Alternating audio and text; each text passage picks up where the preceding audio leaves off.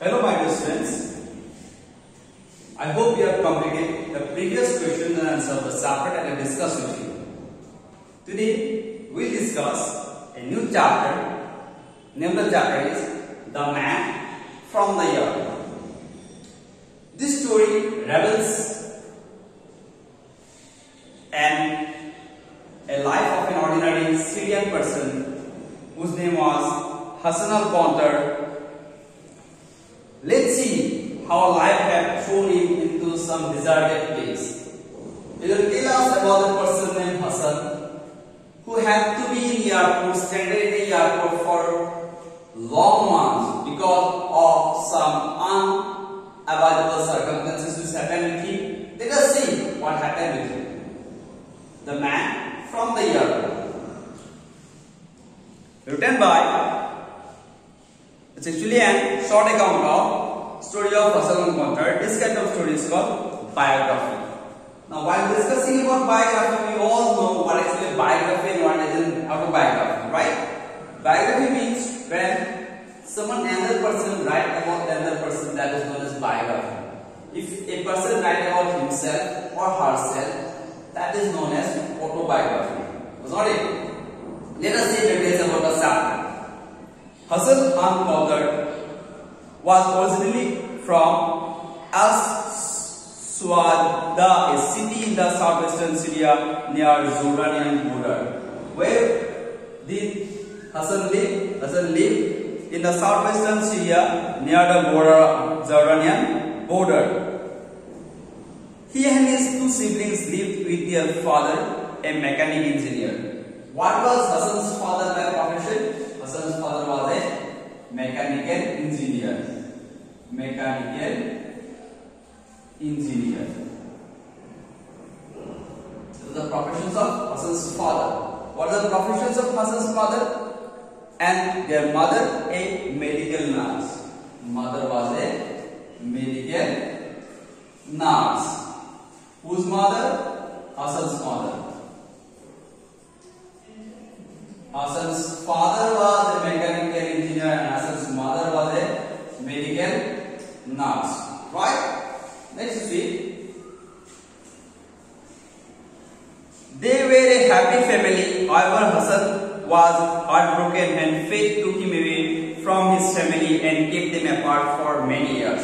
For many years, an incident happened which shook the whole family and thereafter what happened? The whole family became apart whole family broke up and he had to be away from his family for a longer period of time. When Hassan was 25, how old was Hassan? When he was 25 years of age. What happened? He was offered a job as an insurance marketing agent at a company in Dubai.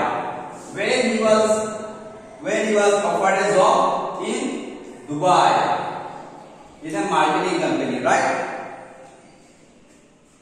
He took up the job and got to work permit that allowed to stay there from 2006 to 2011. Until when he was allowed to stay in Dubai? From 2006 to 2011, he was allowed to stay in Dubai. For this many years he had living, living in Dubai. For how many years? 7, 8, 7, 8, 9, 10, 11. Means almost like 5 years he had got the permit of staying in Dubai as a work permit. Next you see what happened hereafter.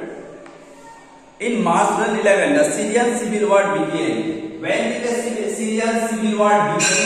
There a small small question that you will keep in the mind. Okay, you will write this one in your copy. When did the Syrian civil war begin? In March 2011. Since the Syrian embassy refused to renew his visa for his stay in UAE, his only option was to return to Syria. Why? Was his only option to return to Syria because the Syrian embassy refused to renew his visa. Whose visa? Hassan's visa.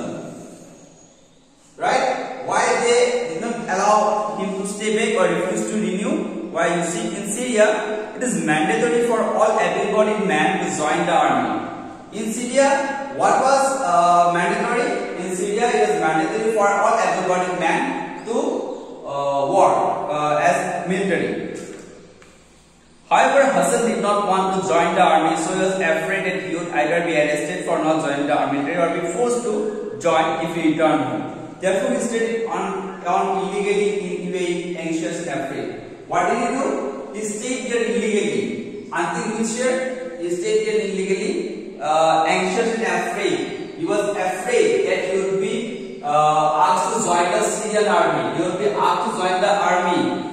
Therefore, he illegally stayed in until 2017. Hassan managed to evade the authorities for nearly six years, but his luck ran out in 2017. He was arrested and deported to Malaysia. Where was Hassan arrested? Uh, sorry, uh, where was Hassan deported after his arrest? Hassan was deported to Malaysia after his arrest. At that time, Malaysia was the only few countries which allowed the Syrians to enter without a visa. So, what opportunity was there in Malaysia that any Syrian can enter Malaysia without any visa? On his arrival at Malaysia, Hassan got a tourist part visa there for a limited duration. What did he get after visiting Malaysia? He got a tourist permit to visit Malaysia and stay there for a certain time. From there, Hassan bought a ticket for Ecuador, but the unknown, but for unknown reasons, the Turkish airline staff neither allowed Why Turkish Airlines refused to board him in the train? For some unknown reasons. Right? Next you see. He then got on a plane heading to Cambodia. Unluckily on him, he was denied and permission to enter the country and was thrown back to Malaysia. So he wanted to go to Cambodia also, but there also he couldn't go. He was refused to enter and he came back to Malaysia where he was deported. By this time, Hassan's tourist visa in Malaysia expired and he was not allowed to leave the leave the airport. Why was Hassan not allowed to leave the airport? Hassan was not allowed to leave the airport because because why? Because his tourist visa to Malaysia had expired. Hassan claimed that he was a refugee, but Malaysia did not recognize him as one. What did Hassan claim? Hassan claimed that he was a refugee. Now, what does the word refugee means? Refugee means a person who has been forced to leave the home or country either because of war or because of their political or religious belief. Who were forced to leave? Hassan. Now what does refugee mean? Person who were forced to leave the country because of some unavoidable circumstances. It might be because of war, it might be because of religion, it might be because of some political avenues. I will stop it here for today. The questions which I have given you, please you all write it down in your copy. Thank you for today.